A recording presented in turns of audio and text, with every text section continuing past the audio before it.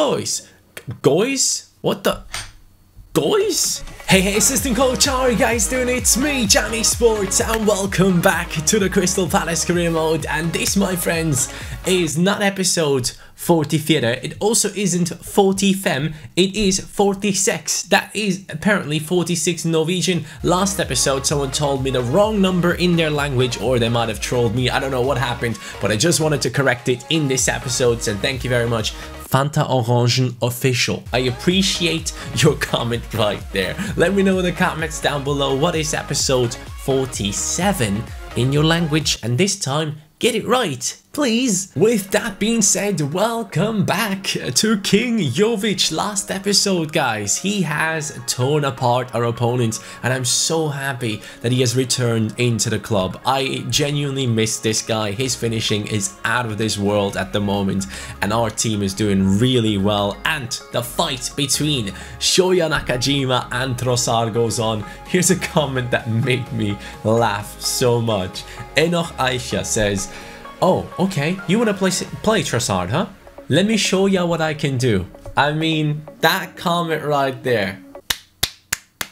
My man, you got it. You got it. I'm surprised that it only has four likes on it. That should have a lot more likes on it, in my opinion. But uh, boys, I am very happy with the way the Crystal Palace career mode is going at the moment. I gotta admit, man, this formation, yes, it might not be the best defensively, but offensively, we destroy our opponents right now, and it's looking very good. For the player of the month, we have to focus on Jovic. He has to get the goals in every single game. I need these objectives to be done. In terms of objectives, boys, we are currently on everything is the same. The only thing that keeps on changing is the double trouble right now, and we had a big change in the last episode five goals added in in the double trouble. We went from 16 out of 40 to 21 out of 40. Jovic and Zaha contributing very nicely in the last episode. Both of them, when they play together as a pairing, our team is as at its uh, most dangerous state, and I love that. Now, in this episode, we're going to start off with a match against Real Betis in the Champions League. If we can win, we secure our position in the Champions League knockout stages and that is something I desperately want to do. I'm really looking forward to it. So Real Betis, we're going to get go into that game in just a second. But let's talk about a few comments right here. Here's a comment coming in from Toffee fan. He says, Johnny, what do you think about the rumors of Rafael Leao potentially joining Everton now? First of all, before I even talk about all this, oh my god, I forgot the most important thing. What kind of a YouTuber am I? I forgot to ask for likes. Guys, guys, what the... Guys, guys, um, can you please hit that like button on this video? Just go ahead and hit that like button. Forget about what I said before. Hit that like button. Yo, Kahraba has six goals. Dude, that's insane. I'm so happy for him. He was such a good talent back in the day. Now he is on six goals in the Champions League ahead of everyone else. That is pretty impressive if you ask me. But um, my friend right here, Toffee fan, is asking about Rafael potentially joining Everton. Uh, before I bottled that whole thing right there. Um, I think that would be great. Uh, Rafael Leao would be great, but it would be sad for someone that I know, uh, Tosun. It would be terrible. My dad actually has gotten a shirt from Cenk Tosun signed from Everton. And he, he said, do you want it? And I was like, no, because I'm a Liverpool fan. But then again, I am also a Cenk Tosun fan, so to say. It's just unfortunate that he plays for that team. But that, that shirt, I could never wear it, so it wouldn't have a place in my videos. And I don't know, I just said no to it. My dad kept it. He's probably going to keep it uh, for a while. Um, so that's okay. But yeah, in terms of Rafael Leao, I think it would be a great signing, but I think it also would mean that Cenk is not the main striker that they're planning to go with, which is a bit sad, but Rafael Leao is a very, very talented player, so I wouldn't mind seeing him come into the Premier League. Then the next question about in real life football is, do you think that Liverpool can win the league ahead of Man City? Can we do it? Yes. Will we do it? Possibly no. In my opinion, Manchester City at this moment in time if everyone is fit, their team is the best team in the world. I don't think there is a better team in the world. And I'm talking about team. I'm not talking about individuals. Yes, Ronaldo and Messi can sometimes produce absolutely unrealistic moments in their games and they can just carry their team by themselves. But if we're talking about a unit, about a team, when fully fit, I think Manchester City beats anyone in the world. But I haven't seen Manchester City yet on the big stage against the big teams like Barcelona like Real Madrid, like Juventus.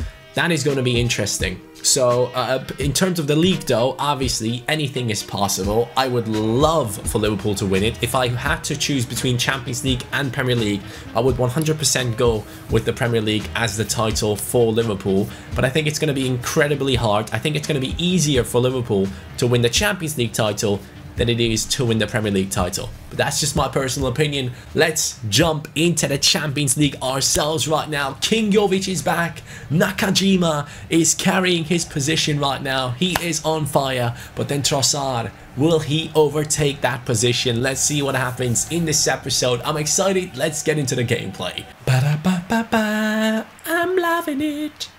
Oh, that's a good cross, Tierney. Ooh, Shoya. Yes, that's what I'm talking about. That's the thing with Shoya, man. He is always back there defending. Like, he is always in position to get it done for the team. And I'm very happy about that. The same goes for Tsygankov.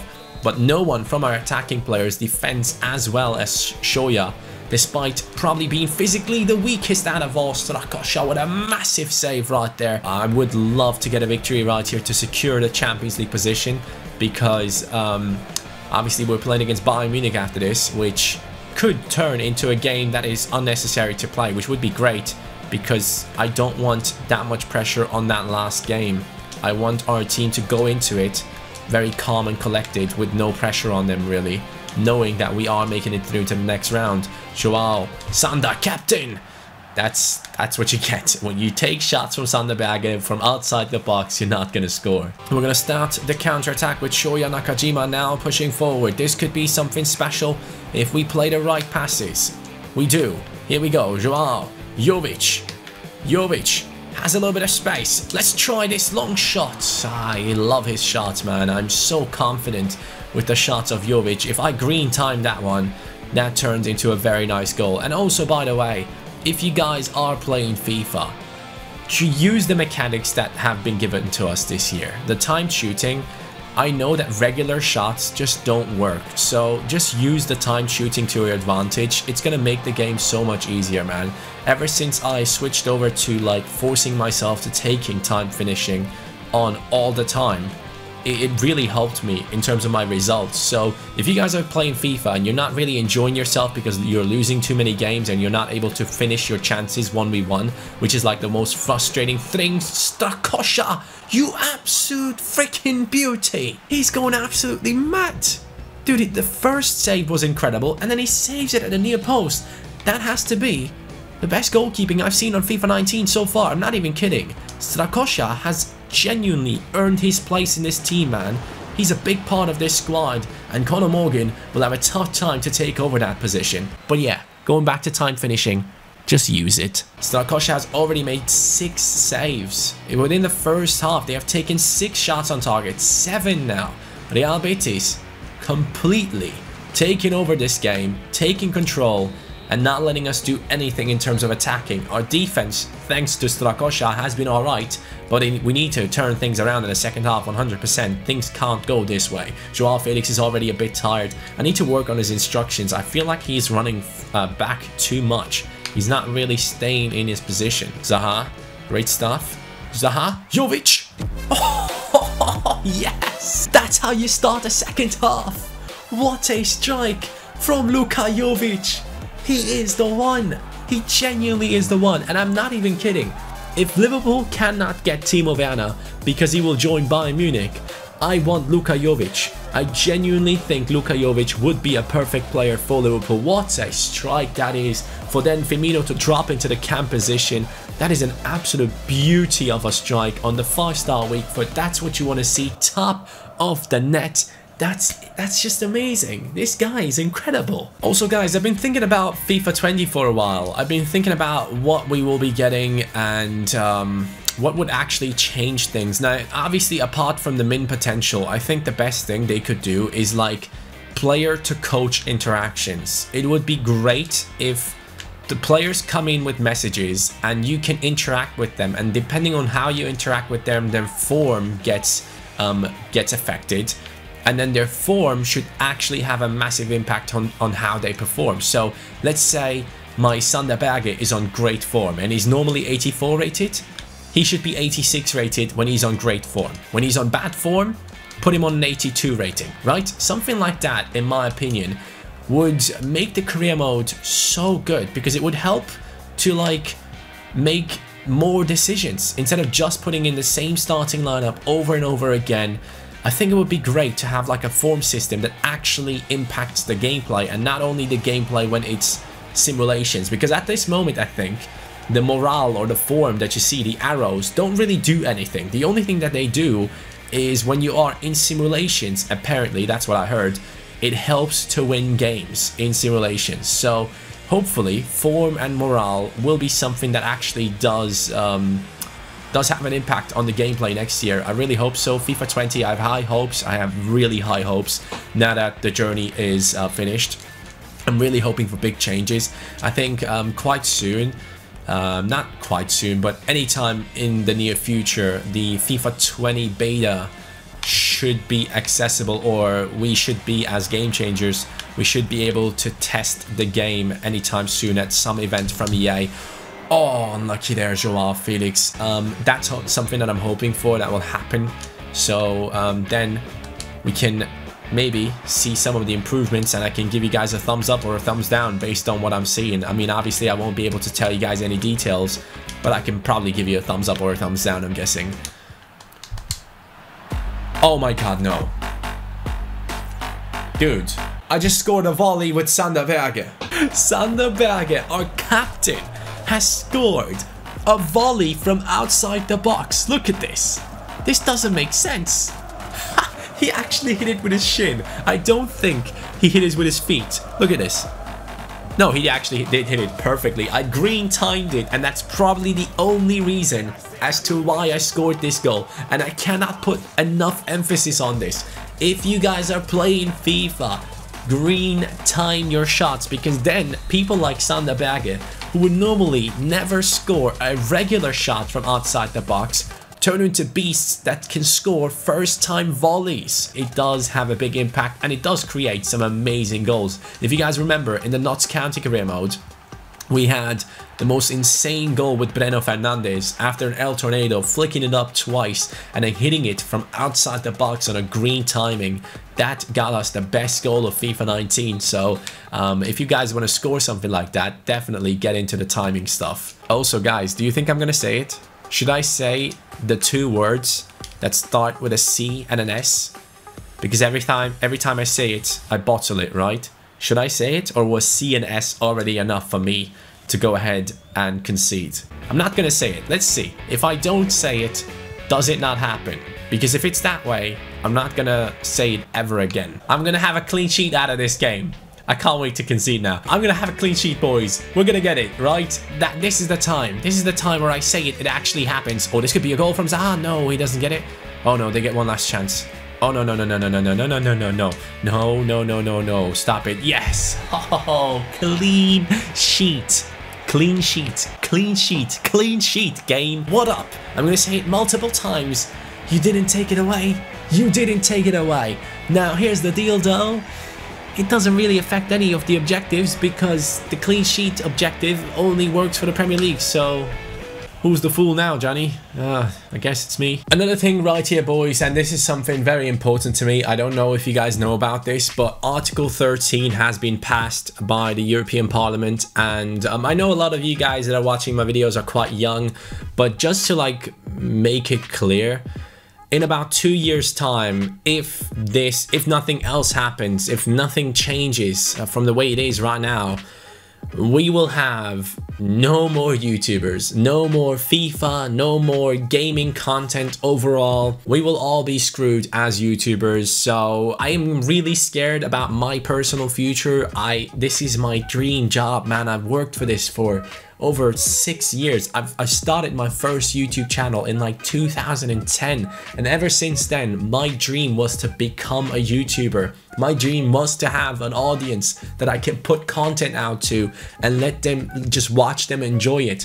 That was something that I always wanted to do and now I'm in a great position to do what I love to do and I really wanted to do this and it's about to be taken away from me and um, yeah it sucks man it's it, I, I, I guess you could you could like compare it to a a football talent. I would say I'm a YouTube talent right now. I'm not already an established figure. I personally see myself still as a talent because I honestly don't believe that the amount of subscribers that I have right now is the maximum for me. I, I think there is so much more room to grow, so much more. So I, I see myself as a talent. Let's say I'm a football player. I'm a big talent. I play at a decent club and all of a sudden I have a career-ending injury and all the potential that I had is gone. That that's basically what's about to happen with YouTubers and it sucks. It really sucks.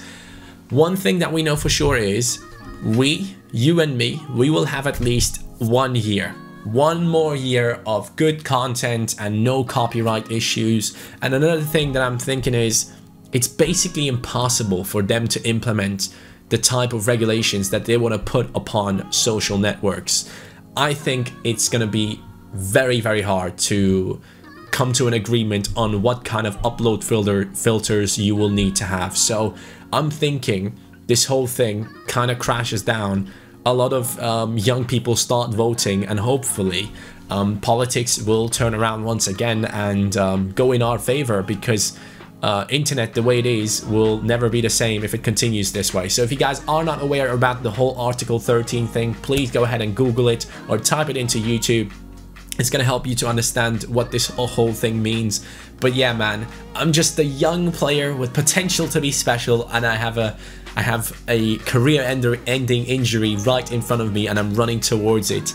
And it sucks dude. It really really sucks. So hopefully that doesn't happen. Hopefully I will still be here for years to come. I'm genuinely planning for 10 more years on YouTube. This is my dream job. I want to continue doing this and hopefully they don't take it away from me. That would absolutely suck. Overall, it would ruin my life quality because I personally love watching content creators all day long. I don't know what I would do without all these videos and streams. So yeah, hopefully that doesn't happen, man. Article 13, you suck. Now going back into the career mode guys, we are currently in that first position. Crystal Palace has been quite dominating in the league right now. In terms of defense, we are four goals uh, away from Manchester City. We need to improve our defensive stats and we will be playing in a 4-1-2-1-2 narrow for the first time with Gedson Fernandes at centre midfield. This is going to be an interesting game. We have Milivojevic in there who we obviously are chasing an objective with. Millie Mayhem, hopefully we can get it done and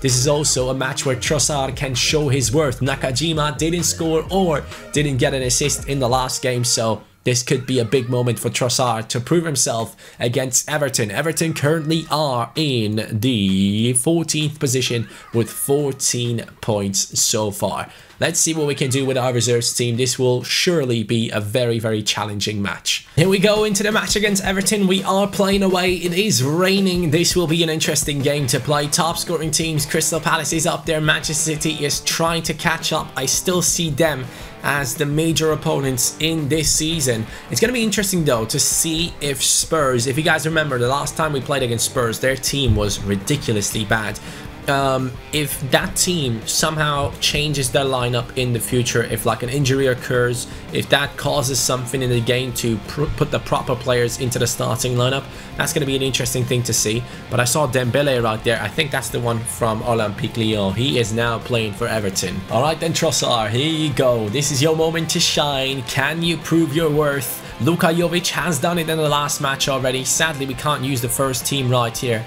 Um, that would have been quite useful for the objective of the double trouble, but those two dudes are doing fine. It's not even halfway through the season. They're currently on 21 out of 40. And with the current form that they are in, I'm expecting them to continue performing. Gedson Fernandes, I just wanted to smash it into top bins with the first time shot. Good header. Andreas Pereira brings it over to Calvert-Lewin. Calvert-Lewin back into Milivojevic. Milivojevic, Trossard, Trossard, against two or three defenders. Trossard still going. Trossard shoots. Good defending from our opponents. And also the former sick defender for us. I heard though from you guys that he apparently is uh, playing for the Spanish national team now. So that's cool. It's nice to see that one of the talents that we have brought in is actually turning up on the big scene. Calvert-Lewin. I see you there. Mealy, Mealy on the ball. Waiting for the right pass. Is he going to find it? No one is really getting into a position for him to pass it into. There we go. Mealy gets it back. Into Gedson. Gedson on a yellow timed. Unlucky. Unfortunate finish right there. Militao. Here we go. Pushing on. Pushing forward. Calvert-Lewin. Nandez. Nandez brings it back. Calvert-Lewin. Beauty of a pass into Trossard. He can't get to it. It was a greatly uh, accurate pass, but we couldn't really get it into the feet of Trossard. It was a little bit too much pace behind it. Hold on though. Calvert-Lewin pushing on again. Into Trossard. Trossard gets past the defender, takes the shot. I mean, he didn't really get past him. Hermoso over to Andreas Pereira. Pereira brings it back. Oh my god, that's an amazing pass from Pereira. Trossard hits it. And we get a pen. We get a pen right before half time, boys. Jimenez has taken out Trossard and he desperately wants to take this penalty and I think he might actually have one of the best I mean that's not really a penalty is it? Oh no hold on. I should give this to Milivojevic we need this for the objective boys. Oh yes. Oh yes uh, oh yeah, dude, my fiance will have to do my makeup. Oh no, we're definitely not doing that. We're taking this penalty with Milivojevic. Yes, come on, let's go. 3 out of 10. I completely forgot about the objective. Dude, uh, not the objective, I forgot about the forfeit. If I don't get 10 scorer points with Milivojevic, I will have to do a video where my fiance does my makeup.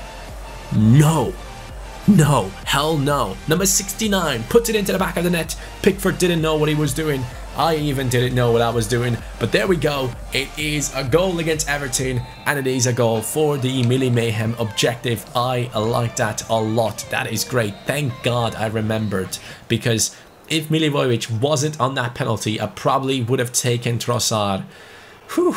Got lucky there. By the way, guys, um, I mentioned that I will be starting a new Notts County-like career mode in uh, like two weeks ago, I think. Um, I didn't do it because I had to go to Germany and stuff, and things didn't really work out the way I wanted to. So um, I will be starting a new Road to Glory career mode in uh, on Sunday or Saturday. I'm, I'm actually aiming more towards Saturday, so let's see what happens. I'm really hoping that you guys will enjoy it. I think it's going to be a really good one, and I think it's going to be, um, again, different type of content that we normally don't see on the channel. And I really enjoy those types of Road to Glories that just go a little bit quicker, but still are very enjoyable to play, and where Youth Academy players have a big say in what we do and um, how we play. So, uh, new Breno Fernandez's will be found in that career mode as Dembele smashes it onto Conor Morgan. And also, what are you doing? What am I doing? What am I doing? Kick the ball away. Yes, Johnny, you learned. You learned to clear the ball instead of passing it. It only took you 20 years since FIFA 98, but it's cool, dude. It's cool. Finally, you learned. Milivojevic, there's a lot of space down the right for Pione Sisto. And what a strike. That's what I call a timed finish. This is what the CPU does. That is incredible. That I mean, I don't even know if any goalkeeper would have saved that. I know it's near post, but the fact that it had had so much power on it, it just was unsavable for Connor Morgan in my opinion. L unlucky guy, really unlucky. But it is 1-1, and again, the clean sheet is gone. What a surprise. Haha, it's gone again. I keep conceding. I'm so bad at defending. Oh, that's a good ball into Richarlison. He can finish with both of his feet, so we gotta be very careful with that type of players on the ball. But we do bring it over to Andreas Pereira. Andreas Pereira to Calvert-Lewin. Down to the right we go. We have Dodo pushing forward. Dodo brings it back in. Calvert-Lewin doesn't get this. Ah, we got it into Saracchi. He has scored a goal for us in the past. Come on, why can't I switch players? Nandez. Gets on. Gedson, come on. Gedson Fernandes. Oh no, what am I doing? That's just stupid. Andreas Pereira. Andreas Pereira gets taken out in the penalty area. Great tackle from Everton's defense right here. Come on, Trossard. What? How does he push me away? We got it though. Milivojevic with a big steal. Calvert-Lewin. Late minutes. Calvert-Lewin. Oh. Ref! Referee! And that's a foul! It's 1-1 against Everton. I'm not happy with that result at all, man. We had a great performance against Real Betis, and as soon as we switch over to the reserves team, this formation, I don't know if it works for this team, man. I'm not too sure because I feel like the midfielders that we have, they are not dangerous enough.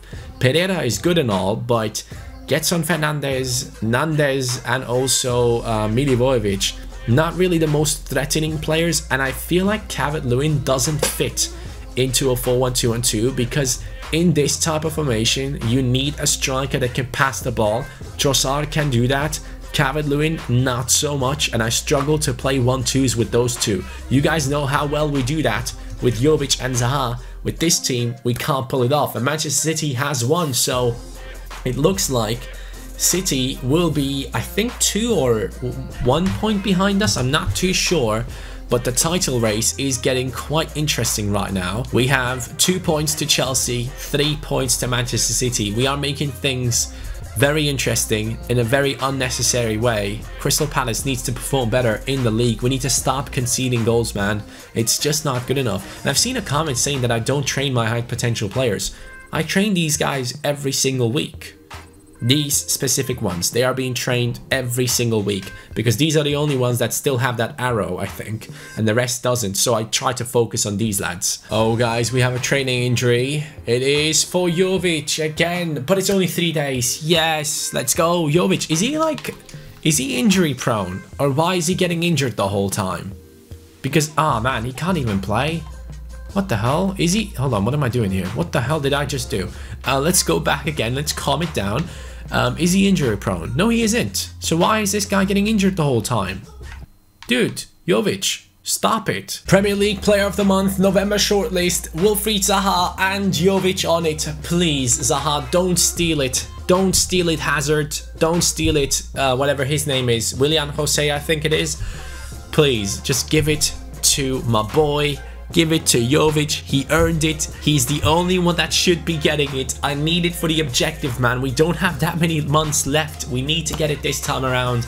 Now, we are up against um, Newcastle in the Carabao Cup. I'm going to be simming this one. Hopefully, it can be a good result. I'm simming this because I'm too anxious to see who's going to get the player of the month. Luka Jovic and Zaha are both nominated. If Zaha takes it away again, from Jovic. I'm going to be so upset. Calvert-Lewin scores. Let's go 25 minutes in. Traore scores as well. It's 1-1. Newcastle come back into the game. Please, please, come on. Come on, Crystal Palace. Yes, Trossard. Let's go. Let's go, man. Amazing. He's stepping up in these simulations, man. He's doing bits. And yes, we have won this game. We are through into the next round of the Carabao Cup. That was quite a risk to take really. I don't know why I'm doing this type of stuff, but I'm sometimes like, especially in the Carabao Cup, in my head still there's something that says I don't care about this cup, I don't care about this cup, but I have to win it for the objectives. Updating facts and figures, game gets stuck, cool story bro, but we are about to see the player of the month anytime soon boys. Let's see, there should be a nomination. You should be able to see it right here in the shortlist. Zaha and Jovic on it. If Jovic doesn't get it, EA, I'm gonna fly over to Vancouver. I'm not even kidding. You guys have to give me this one with Jovic. It doesn't say anything yet. Now we are up against Watford. I need to sim two games in, a, in this month. I could get rid of them immediately right now. I have Watford at home. I have Southampton away. Liverpool at home, West Ham away, Burnley at home. I'm going to sim the one against Watford, boys. I think that's that's probably the best thing to do. And the good thing is we can sim with the first team and then we can play against Bayern Munich with the reserves team because the result doesn't really matter. But this one actually does. Crystal Palace on 32 points, Chelsea have overtaken us, Manchester City have lost their game. We need to use our chance right here. We need to run away from Manchester City because I think at the end of the season, that is going to be the team that we have to beat. Oh, Chelsea have beaten City 3-0. Okay, boys, against Watford, step up. They have won against Spurs, they have won against Bournemouth. This is going to be a tough game, but I have to sim two games a month and we could get rid of them straight away in the beginning of this month. So let's see what we get right here. Spurs 1-0 up against Liverpool. Seems like they're finally turning up. Leicester City 1-0 up. Zaha scores a pen. Let's go. Come on. Zaha scores. Great stuff. I should probably put Jovic or one of the Benfica players onto the penalties as well. Joao Felix! Yes! Okay. Great stuff. Let's go, Joao. Nice. So that means this month, maybe, we will have to focus on Joao Felix Has Jovic won the player of the month? Has he gotten it? Please. Come on, man. Yes! Come on! Yes! He should have three by now, EA. He should have all three Player of the Month rewards where he was nominated for it. You freaking jokes. This is what needs to happen. You need to reward the players that earned it. And Luka Jovic got it. Benfica's Academy objective, boys. One out of three. Two more months, and there's not many left, as you know. We only have these months left. We have December, we have January, February, March, April, and May.